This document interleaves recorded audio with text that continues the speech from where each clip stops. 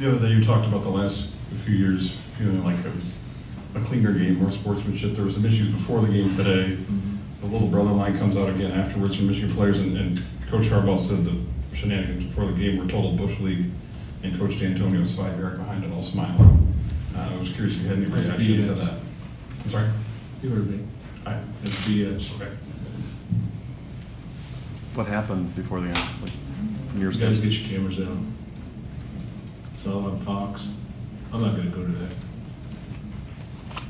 Go ahead, next question.